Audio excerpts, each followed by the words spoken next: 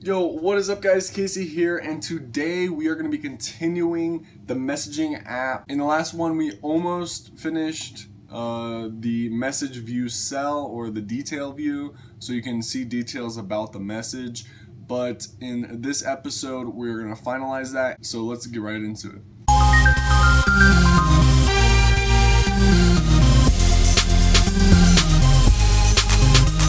Open back up your Xcode project. Okay, so um, first things first, we have a couple uh, problems right here in our message detail.swift. Um, I usually say post data because the data we're posting, but today uh, in this video I said message data. So right here it says if let recipient equals message data, and we're pulling the recipient from uh, the Firebase database. Um, and then, so in message detail.cell.swift, I guess it took user instead of user image as string. So if you guys didn't get that, put that in there. Um, I'm not sure why I didn't catch that. And then right here where we're um, uploading the image, at the end I forgot to put the in. Okay, so ref.data with max size, completion data error in, and then we should have no errors anymore. So you can run that. All we need to worry about is our chat VC. So in our chat VC, um, first thing we need to do is um, import Firebase database. Okay, and then after um, we've we created our IB outlet, we need to import some or create some variables. So var message detail will equal uh, an array of message detail. Okay, and then we have var detail, and that's of type message detail. Okay. Um, var current user will equal keychain wrapper dot standard dot string for key. That's even be UID and then we need a recipient var recipient of type string and then var message ID. That's gonna be a type string. Perfect. Now, uh, when the view loads, we need to call our Firebase database in order to upload the data. So, let's just say fir database dot database dot reference the reference dot child user users with an s dot child um, current user. And then another dot child.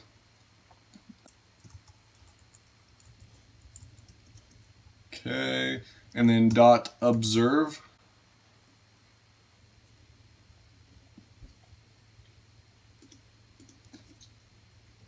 we want observe event type with uh, virus snapshot void and it's gonna be dot value. And then width is going to be voila. And we're gonna say snapshot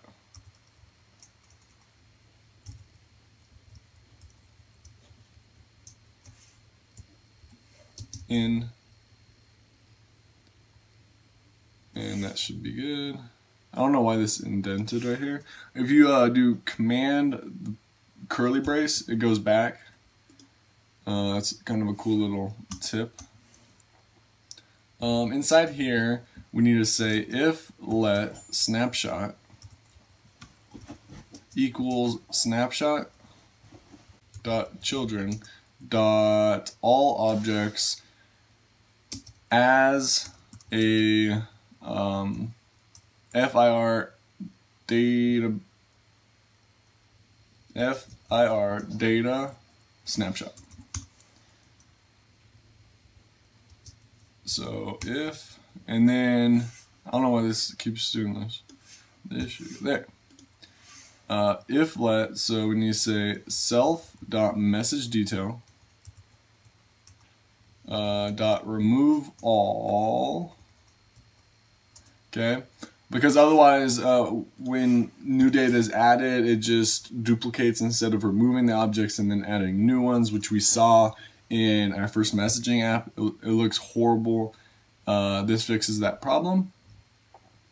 And then uh, for data in snapshot um, let's just say if let message dict for dictionary equals data dot value dot um as this is gonna be a dictionary string comma any object. Okay. And then we want to say um scroll up we want to say let key equal data dot key and then let post or that's like what we're posting. Let uh, info equal message detail and then message key will be key and message data will be message dict for dictionary. Okay. And now we'll just say self dot message detail dot append um, info. Perfect. And now all we have to do down here is say table view dot reload data. Okay, we have to add self right here. Self.table view dot reload data. And now that we got that, um, on number of rows in section, we can just return message detail dot count. Okay. And in self row at index path, um, we want to say let message detail I say DET short uh, equal message detail index path dot row. Um, and we just say if let cell equals table view dot dequeue reusable cell. Um, we want the one just with ident identifier. And here we're going to say message cell.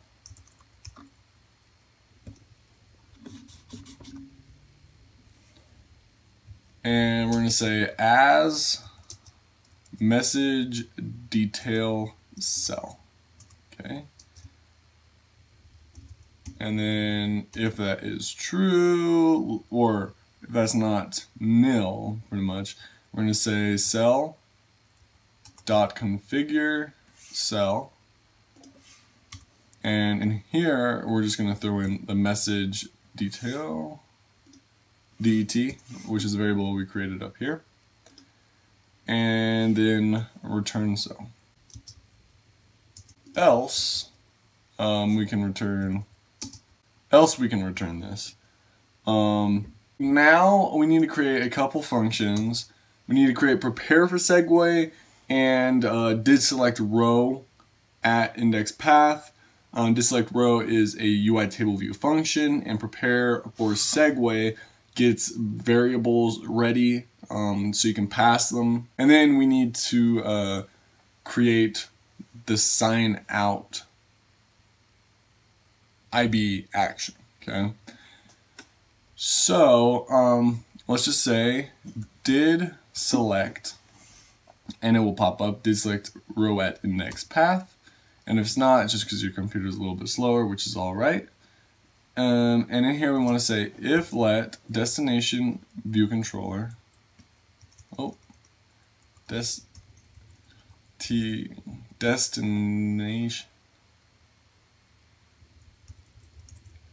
View controller.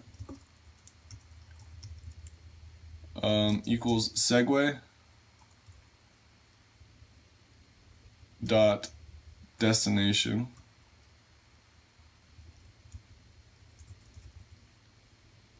as message VC, which we haven't created yet, so we can create that right now.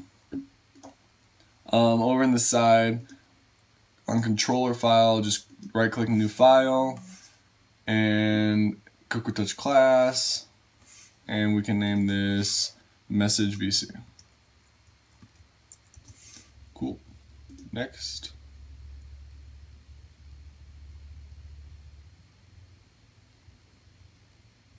And then create. Awesome. So this function that I was just creating, I put it in the wrong place. Uh, segue would be a function up here, but this is the did select. Let's create the other function that we need, uh, prepare for segue, which is the second one. And then just uh, Command X this code, copy and paste it in there, uh, in the prepare for segue function.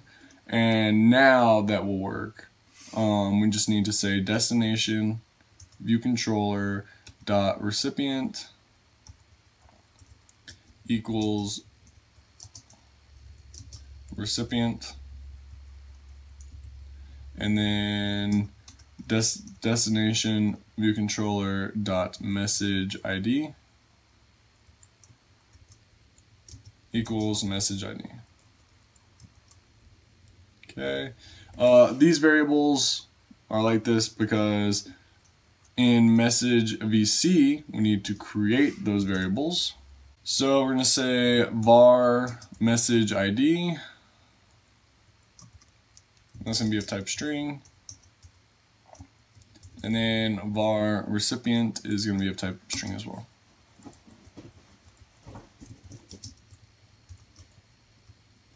Perfect.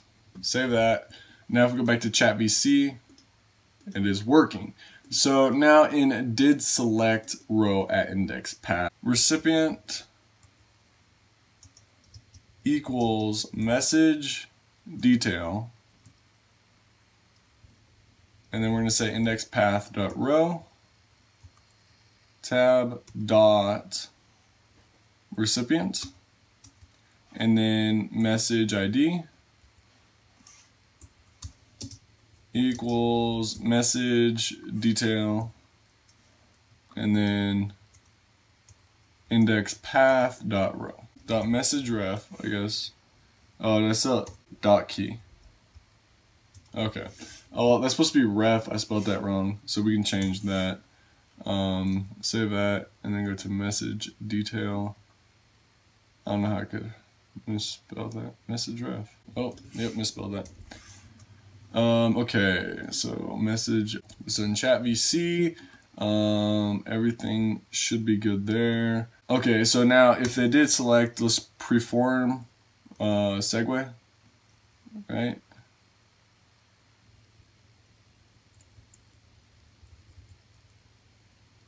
Yeah, perform segue with identifier. Uh, the identifier is going to be to message. Sender will be nil. Okay. Um, and then the last function we're going to create here is our IB outlet. I mean IB action. Uh, func sign out. The sender is going to be any object. And in here we're going to say try FIR auth dot auth dot sign out, and then keychain wrapper, dot standard. Dot remove object. For key. UID. And then here I'm going to say dismiss, animated. True, completion. No. And we are all good on the chat VC, I believe. I can double check.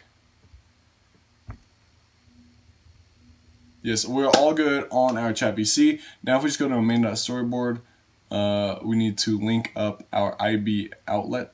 And then I think we have to create the sign out button. I'm not 100% sure.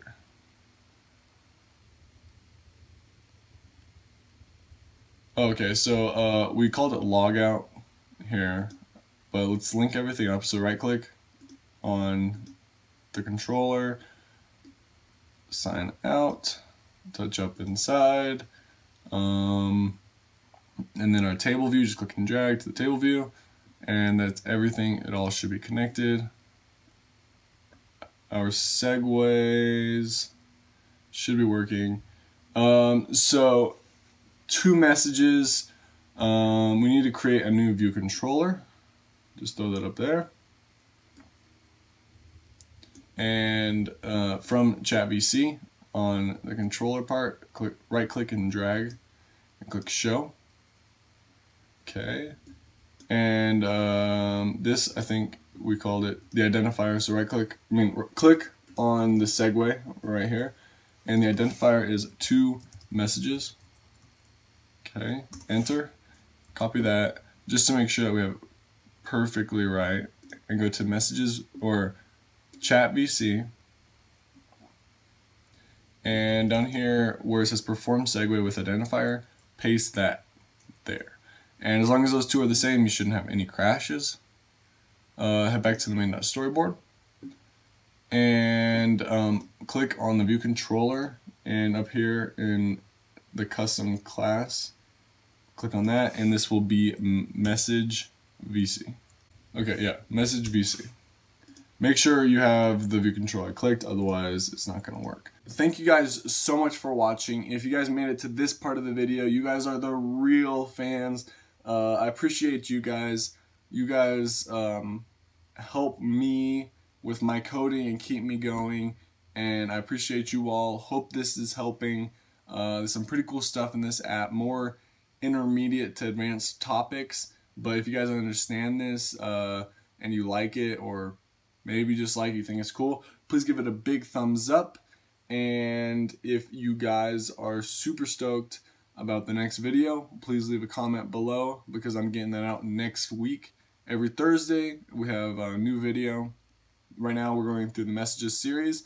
Uh, and Saturdays we have live stream where I'm streaming the community app. So soon we'll have an app uh, so it's easier for you to learn how to code uh, tips on there we're gonna have quizzes I'm gonna be creating a bot on the app um, so that if you guys have questions you can go to the bot and hopefully the bot will soon uh, be able to answer all the questions that you guys need. So um, if I'm not available, you still get your answers or your questions answered.